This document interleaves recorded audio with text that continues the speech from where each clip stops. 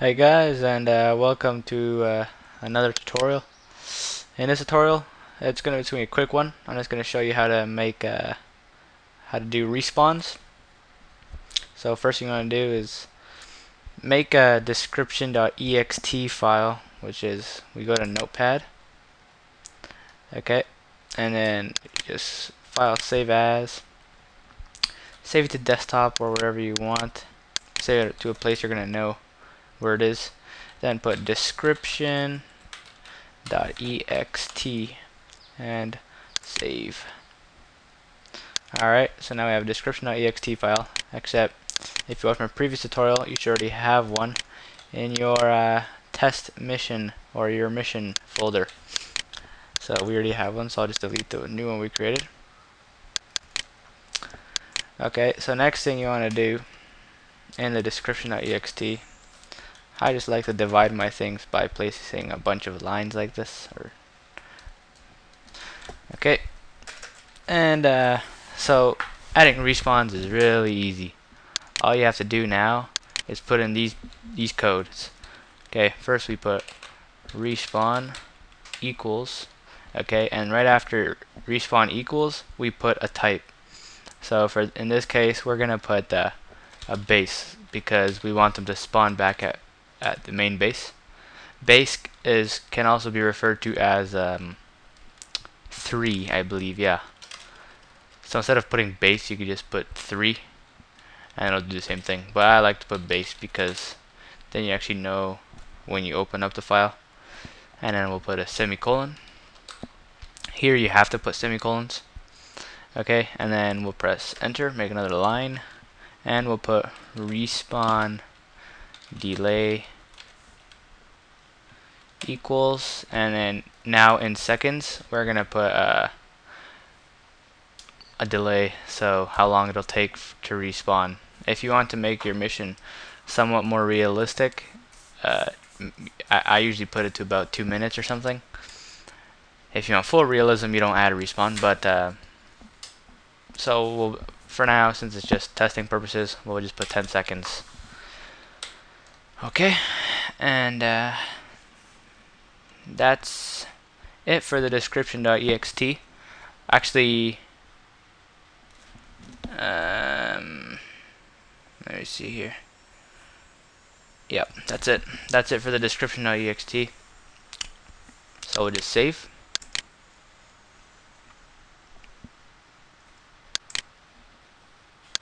Okay and uh, now we're gonna go ahead into the editor.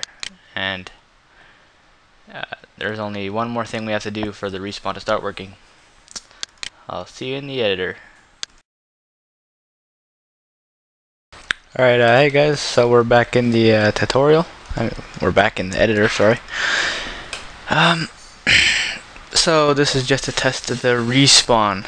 Um, so there's only one thing we have to do in the editor to make the respawn work turn on the textures to make things more accurate. Um, so let's say we want to respawn. Mm, just so you guys kind of okay. I'll make it respawn over here okay? So further down the airfield. So what you're supposed to do is press F6 uh, and bring up your bring up your markers. Double click. And um, what I'm going to do is I'm going to make the marker default and empty so that people don't see it. And what we're going to do is name it respawn underscore west. Basically all that does is uh, tell the description.ext this is where they're to respawn USMC units only. Uh, so BLUFOR units. If it was, for example, uh, OPFOR units, you would put respawn underscore east. Right, then all OPFOR units would respawn there. Um, for independence, it would be Guerrilla. yeah. And for civilians, it's just civilian. But in this case, we're USMC, so we're going to put West. And then we're not going to put any text because I want the marker to be invisible. So, once we die, uh, we should respawn on uh, right here. And in 10 seconds. So let's test it out. Let's preview.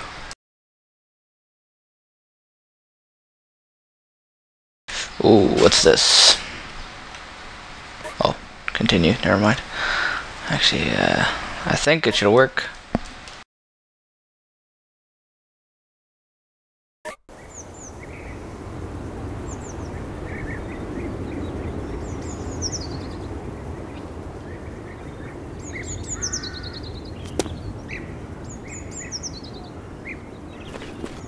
Ah, easiest way. So in 10 seconds we should respawn on that marker.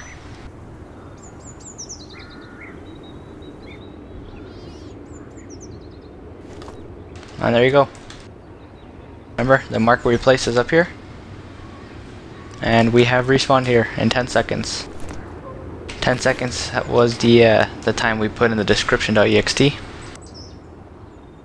So everything is working. And that's how we uh, make a response.